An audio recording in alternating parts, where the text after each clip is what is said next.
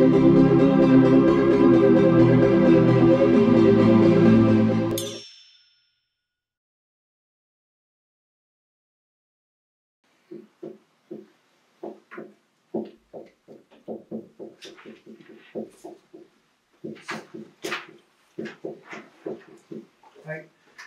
で、まず一番簡単な AR1、オートリグレッシ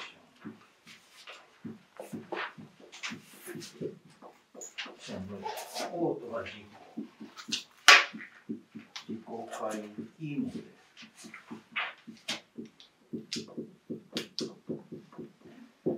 はい。で、どういうものかというと、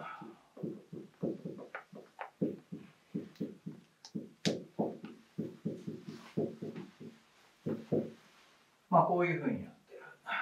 うんで、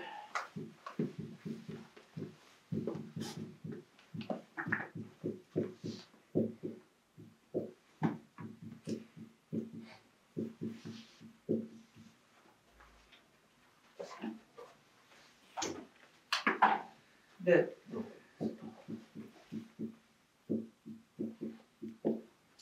でこうなってるのをあのオートリグレッションの自己回帰の1モデルというと。でなぜそうか、なぜそういう名前がついてるかっていうのは後であれ説明することにして。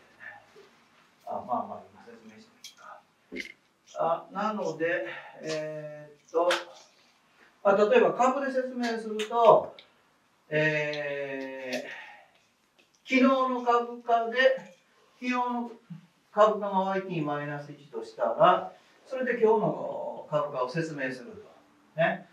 で、もしこの誤差確率変数、確変数がなかったら、昨日の株価の一時関数が今日の株価っていうことになるけども、そんなんなるはずがないから。ね。それで、えーそれプラス、えー新しく付け加える不確実性というか誤差っていうか、それを、えー付け加えたモデル。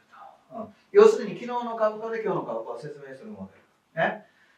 ででそんなもんあの不確実性がないといかんのでそれに毎日新しい確率変数を付け加えると。でこれがあの勘のいい人ならもうあれそれやったと思うかもしれないけどつまり回帰分析と同じなわけね。昨日の株価を説明変数とするで今日の株価を説明変数とする、えー回帰分析線形回帰モデルだから。線形回帰は あのあこういう誤差が発生するということね。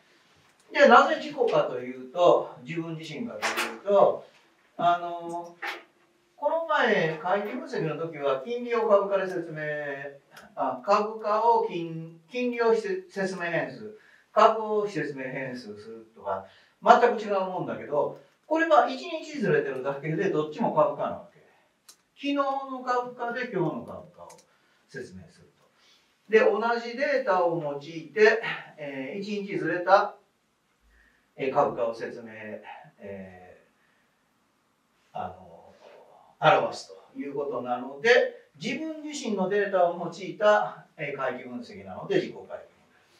まあ、Excel なんかでもすぐできるから、株価のデータを書いといて、1日ずらした株価のデータを書いといて、で、えーで、右で左を説明するみたいな。あのもうその Excel でも他の統計モデルでもすぐすぐできるわ。ね。で、それを、そういうような意味であると。ね。はい。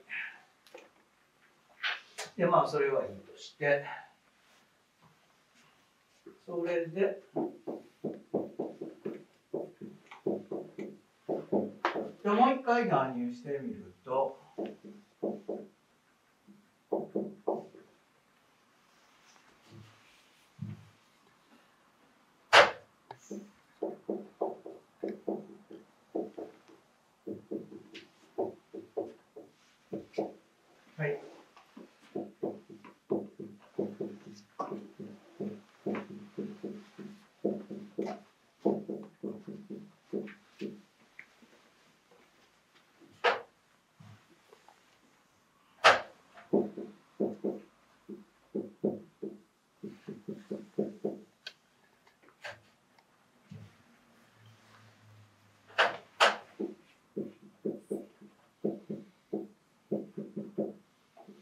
れこれこれと。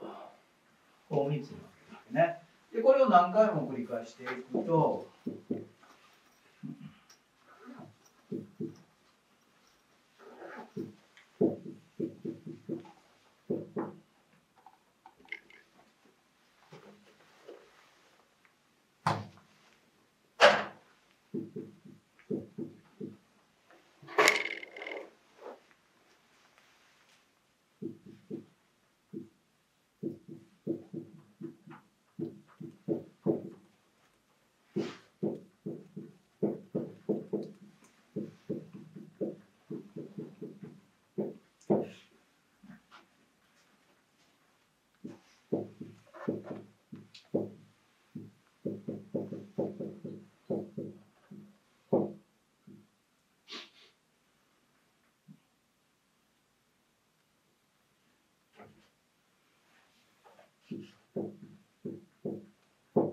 まあ、このようになると。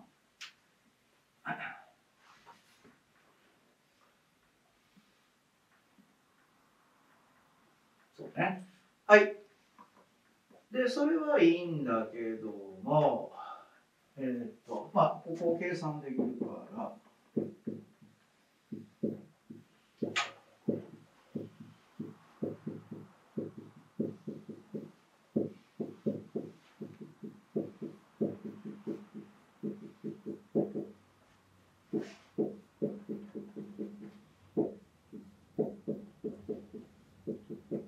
まあ、こうしてで、えー、φ1 の絶対値が1より小さいを仮定して、と仮定し、仮定すると。で、n を無限大に飛ばすと、仮定して、仮定して、とすると、で、ここが0に近づくから、で、まあ、これがかかってるから、ここもゼロですね。で、で無限級。で、まあ、あの、ここの無限級数もこの条件があると収束するっていうことが分かる。